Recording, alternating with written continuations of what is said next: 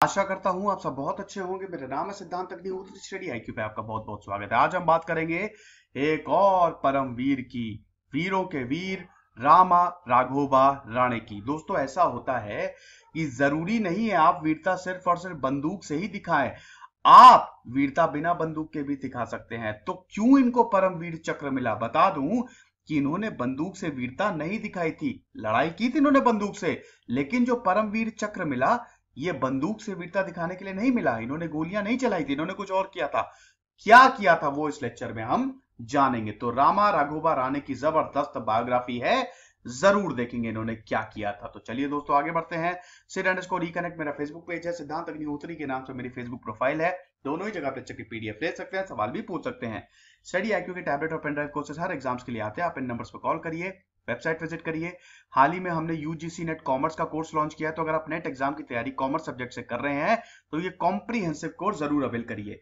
तो दोस्तों, अगर परमवीर चक्र की बात करें तो ये भारत का हाईएस्ट मिलिट्री अवार्ड है। अच्छा मैंने अभी तक आपको परमवीर चक्र के बारे में कुछ बताया नहीं है। इस पदक के बारे में कुछ बताया ही नहीं है। मैंने सीधा लेक्चर शुरू कर दिया है तो चलिए पहले हम कुछ फैक्ट्स जान लेते हैं। देखिए दोस्तों परमवीर चक्र जो है वो आपको पता ही है हाईएस्ट मिलिट्री अवार्ड है ठीक है ना? सबसे ऊँचा अवार्ड है जो वीरता के लिए दिया जाता है ठीक है? अगर आपने अपनी यूनिट के लिए बलिदान दिया है अगर आपने अप, सेल्फ सैक्रिफाइस किया है और ज़बरदस्त वीरता दिखाई है उसके लिए दिया जाता है। यह मरणोपरांत भी दिया जाता है ठीक है ना?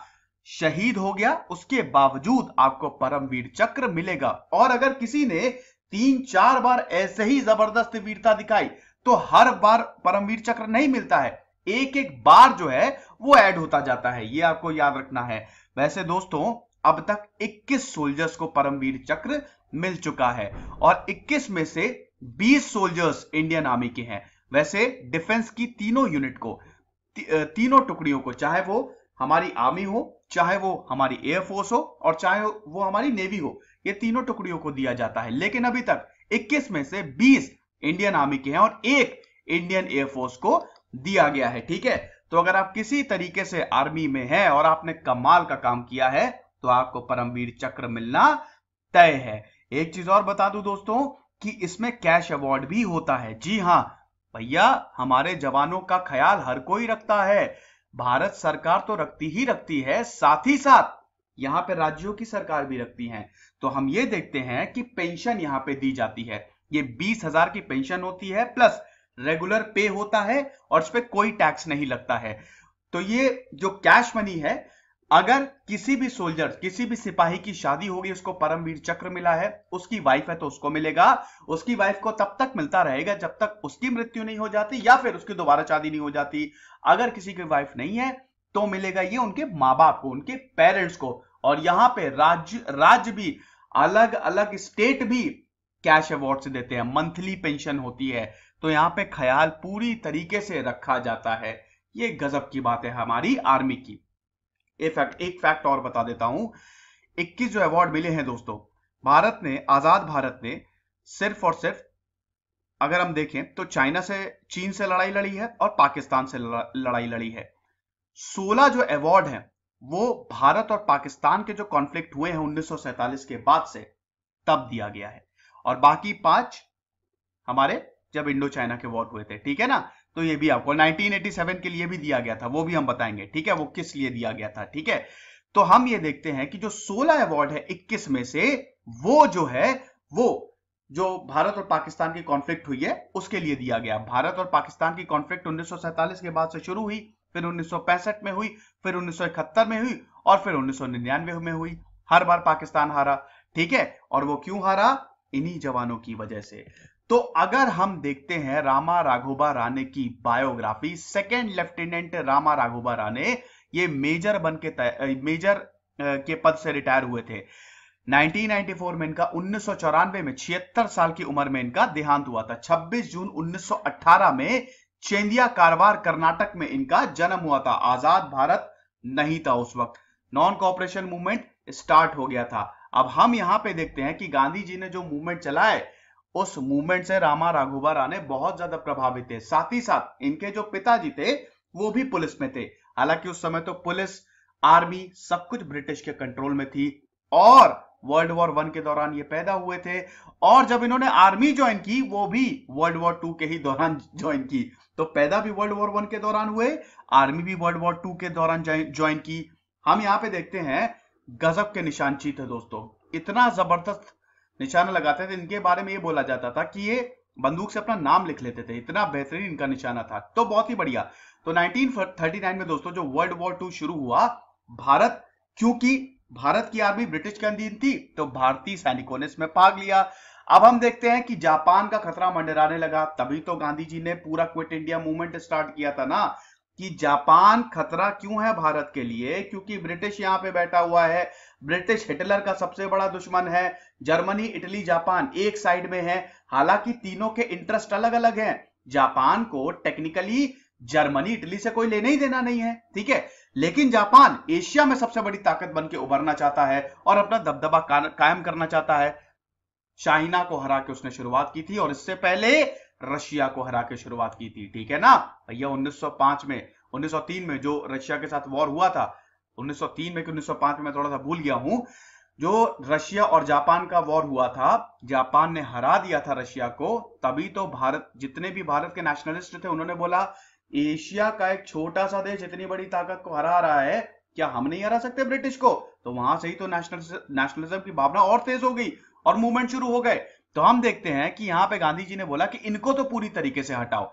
लेकिन भारत के जो सोल्जर्स थे, वो ब्रिटिश आर्मी में थे। तो 1942 में 1942 में वर्ल्ड वॉर टू में इन्होंने बहुत बढ़िया काम किया था दोस्तों। जापान ने बर्मा के रास्ते भारत को इन्वेड करने की कोशिश की फेल हो गया जापान का इन्वेजन लेकिन इन्होंने बहुत ही बेहतरीन काम किया और काफ़ी अच्छे से लड़ाई की, बहादुरी से लड़ाई की और इनको नायक बना दिया गया, ठीक है ना?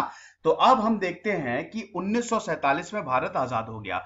और जब उन्नीस में भारत आज़ाद हुआ तो इन, इनका जो प्रमोशन था, वो एज अ हवलदार कर दिया गया था, ठीक है? तो ये प्रमोट कर दिए गए थे। और कॉप्स ऑफ़ इंजीनियर में इनको कमीशन किया गया था, और उसके बाद फिर सेकंड लेफ्टिनेंट इनको दिया गया था। हालाँकि ये बहुत ही ज़बरदस्त थे। आपको बता दो कि इन्होंने पुणे में ट्रेनिंग की थी, और इनको जब सेकंड लेफ्टिनेंट बनाया गया था तो ये एडवांस ट्रेनिंग के लिए जाना चाहते थे। क्यों जाना चाहते थे कि, क्योंकि जब इनको ये पोस्ट दी गई थी तो क्या था कि जितने भी ऑफिसर्स थे, वो इनके सब सीनियर थे और इनसे कुछ ज़्यादा बनती नहीं थी। तो ये चाहते थे कि मैं और अच्छे से ट्रेनिंग करूँ, लेकिन उन्नीस में पाकिस्तान ने कश्मीर एरिया को इन्वेड कर दिया। दोस्तों 26 अक्टूबर को instrument of accession Raja Hari Singh ने साइन किया था। क्यों साइन किया था? क्योंकि इधर पाकिस्तानियों ने पूरी तरीके से कश्मीर को अपनाना है, भैया। तो कश्मीर पे हमला बोल दिया। अब यहाँ पे हुआ क्या? कि राजा हरि सिंह पहले तो बोल रहे थे कि हम तो आज़ाद हैं, पंद्रह अगस्त के बाद से ही बोल रहे थे कि हम आज़ाद हैं, हमको आज़ादी चाहिए, ठीक है? ना पाकिस्तान के साथ जाएँगे, ना हिंदुस्तान के साथ जाएँगे, लेकिन जब पाकिस्तानियों का जवाब यहाँ पे दे गया और उन्होंने बोला कि अब तो हम सबकी बैंड बजाएँगे तो वहाँ पे इन्होंने कश्मीर के एरिया में जो कब्जे करने शुरू किए, इतनी बर्बरता की, लूट खसोट मचा दी, बलात्कार किए, यहाँ से डर गए राजा हरि सिंह कि अगर कुछ नहीं किया तो बहुत बड़ी प्रॉब्लम हो जाएगी 26 अक्टूबर को इंस्ट्रूमेंट एसेशन तुरंत साइन किया। नेहरू और पटेल ने सेनाएँ भेजी और उसके बाद जब सेना गई वहाँ पे तो श्री श्रीनगर तक ही आ गए थे। तो बहुत ज़्यादा प्रॉब्लम हो गई थी, लेकिन हमारी सेना ने खदेड़ दिया। तब हमने बताया था ना दोस्तों, कि किस तरीके से श्रीनगर एयरपोर्ट पे कब्जा करने की कोशिश की और 26 अक्टूबर के तुरंत बाद ही मेजर सोमनाथ शर्मा को भेजा गया था, जिनके हाथ में प्लास्टर था। तीन नवंबर को मेजर सोमनाथ शर्मा ने लड़ाई की थी और उसके बाद सॉरी छह नवंबर को मेजर सोमनाथ शर्मा ने लड़ाई की थी, शहीद हो गए थे। इनकी पचास की, पचास सोल्जर्स की टुकड़ी थी वर्सेस 500 सोल्जर्स की टुकड़ी, छह घंटा पाकिस्तानियों को रोक के रखा था और कम से कम। हालाँकि वन इस टू सेवन का रेशियो था आउट नंबर हो गई थी हमारी सेना, लेकिन उसके बाद रोक के रखा था, आगे बढ़ने नहीं दिया था। और कम से कम 100 से 200 कबाइली मारे थे इन्होंने। तो यहाँ पे पहला परमवीर चक्र सोमनाथ शर्मा को मिला। उनकी बायोग्राफी कवर्ड है। उसके बाद जादू उसके बाद हम देखते हैं कि यहाँ पे जो पाकिस्तानी सेना है, वो और आगे बढ़ने लगी। नौशेरा सेक्टर। फिर फरवरी 1948 में जादूनाथ सिंह ने कमाल का पराक्रम दिखाया। बड़े ही पहलवान थे वो दोस्तों। कद काटी, ज़बरदस्त। ब्रह्मचारी थे, हनुमान भक्त। एक एक के छक्के छुड़ा दिए। तो उनको परमवीर चक्र मिला। अब बारी है राणे की। जी हाँ रामा राघोबा राणे, इनको तीसरा परमवीर चक्र दिया गया था। अब दोस्तों, इन्होंने मैं आपको बता दूँ इनका प्रमोशन बहुत ही जल्दी जल्दी हुआ, काफ़ी दिमागी थे ये। इन्होंने बहुत, जो ये मतलब जो इनको ट्रेनिंग दी जाती थी, बहुत जल्दी सीखते थे। तो हुआ क्या दोस्तों कि पाकिस्तानी सेना आगे बढ़ती जा रही थी। रजौरी, पुंछ, झांगर, ये सारे के सारे इनके कब्जे में आ गए थे। श्रीनगर से खदेड़ दिया था यहाँ पे लेकिन और ज़्यादा प्रॉब्लम हो जा रही थी। तो यहाँ पे भारतीय सेना ने पूरा एक ऑपरेशन चलाया और जब तक एक एक सैनिक को नहीं खदेड़ेंगे, तब तक रुकेंगे नहीं। तो हम यहाँ पे देखते हैं कि जो हमारी जो सेना है, वो राजौरी की तरफ़ मूव करने लगी नौशेरा सेक्टर से। अब प्रॉब्लम ये थी कि दुश्मन ने एंटी टैंक माइंस बिछा रखे थे। यहाँ पे आपको जान के हैरानी होगी कि इनको बंदूक चलाने के लिए परमवीर चक्र नहीं मिला इनको चक्र मिला, जो लैंड माइंस थे ना, पूरे के पूरे मैदान को इन्होंने साफ़ कर दिया था। कैसे साफ़ कर दिया था? देखिए दोस्तों, यहाँ पे हमारी आर्मी है, ठीक है? टैंक आ रहे हैं, हमारी आर्मी आ रही है, बंदूकें आ रही हैं। यहाँ पे राणे चल रहे हैं और उनके सोल्जर्स चल रहे हैं, ठीक है? अब क्या है कि यहाँ पे पाकिस्तान है, ये पूरा लैंड माइन एरिया राणे जो है, ये पूरे एरिया को क्लियर करते गए। जहाँ पे भी गए ये वो सारे एरिया को क्लियर करते गए। आर्मी के लिए रास्ता बनाते गए। 8 अप्रैल से लेकर 11 अप्रैल तक बहत्तर घंटे बिना सोए, बिना खाए इन्होंने सारे रास्ते क्लियर किए। एंटी टैंक माइंस जो बिछे हुए थे, उनको हटाया। ठीक है? हर जगह से हटाया। अब आप सोचेंगे, क्या सर फायरिंग नहीं हुई? अरे बिल्कुल हुई। जब इन्होंने आगे बढ़ना शुरू किया था दोस्तों तो यहाँ पे हुआ क्या था इन्होंने बानवाली रिज तो जीत ली थी, जो कि 11 किलोमीटर नॉर्थ था 11 किलोमीटर दूर था नौशेरा सेक्टर से, नौशेरा से आगे था, लेकिन अभी पूरी तरीके से पाकिस्तानी को नहीं खदेड़ पाया था। पाकिस्तानी ये तो कबाइली थे, इनके बेस में आए थे, ठीक है ना? ये सिविलियंस के बेस में आए थे, कुर्ता पैजामा पहन के आए थे।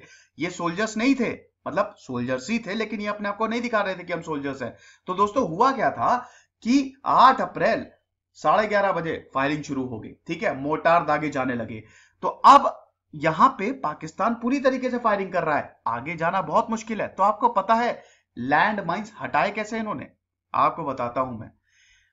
राणे जी ने टैंक के नीचे से लैंड माइंस हटाए। कैसे? राणे जी ने बोला कि, सर, मैं टैंक के नीचे रहूँगा। इनके कमांडर ने जवाब दिया कि, पागल है क्या? टैंक के नीचे रहेगा टैंक चलता रहेगा। टैंक चलता रहेगा और अगर तू टैंक के नीचे रहेगा तो तू कैसे कोऑर्डिनेशन टैंक से बना पाएगा? बोले, तब इन्होंने बोला, सर, मैं क्रॉल करूँगा। तो यहाँ पे दोस्तों, टैंक को एज अ कवर बना के टैंक के नीचे रेंगते हुए ये गए और इन्होंने एक एक लैंड माइन्स हटाए। अब यहाँ पे दोस्तों, इन्होंने दो रस्सी बाँध रखी थी। लेफ़्ट मतलब चलना है राइट मतलब रुकना है। ये सिग्नल था टैंकर को, जो टैंक चला रहा था, ठीक है ना? तो लेफ़्ट मतलब चलना है राइट मतलब रुकना है। कितना बढ़िया दिमाग का इन्होंने उपयोग किया। लेकिन बहुत ही मुश्किल था दोस्तों, क्योंकि टैंक तो अपनी स्पीड से चल रहा था और इनको क्रॉल करते हुए आगे जाना था और इधर से बार बार एनिमी का फायर आ रहा था। तो एक एक करके इन्होंने सारे लैंडमाइंस हटा दिए। भारतीय सेना के लिए पूरा रास्ता साफ़ कर दिया और भारतीय सेना जो है वो आगे बढ़ी। लेकिन दोस्तों, अभी काम पूरी तरीके से खत्म नहीं हुआ था। ये तो 8 अप्रैल की बात है ना। 9 अप्रैल को भी बहुत ज़्यादा प्रॉब्लम थी। रात भर दोस्तों हम देखते हैं कि राणे जी ने काम किया। रात भर इन्होंने उस पूरे एरिया को साफ़ किया। इसमें पाँच पाइन ट्रीज गिर गए थे। उनको हटाया और जहाँ जहाँ पे भी इनको खतरा दिख रहा था, वो सब चीज़ें क्लियर की। और कहीं अगर सोल्जर दिख जाता था तो उसको भी उड़ा देते थे। तो पीछे आर्मी के लिए ये पूरा रास्ता जो है वो साफ़ करते रहे और ये 11 अप्रैल तक चला दोस्तों।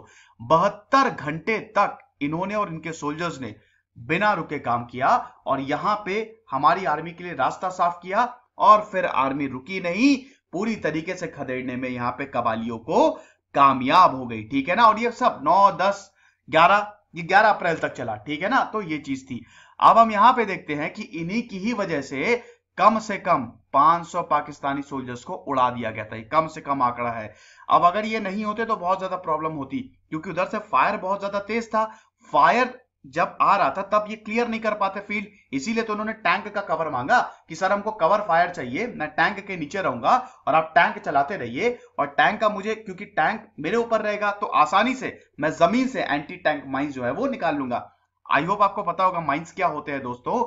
ये बहुत खतरनाक विस्फोटक होते हैं, ये ज़मीन के नीचे लगाए जाते हैं और जब भी इन पे टैंक्स या कोई भी बहुत भारी चीज़ इन पे आती है और ये फट जाता है एक्सप्लोड हो जाता है तो इनको डिफ्यूज करना पड़ता है, ठीक है ना? तो फ्यूज यूज़ निकाल के इनको पूरी तरीके से डिफ्यूज किया जाता है और ये राणे को बहुत अच्छे से आता था। राणे ने इंजीनियरिंग ली थी इसके लिए, ठीक है ना?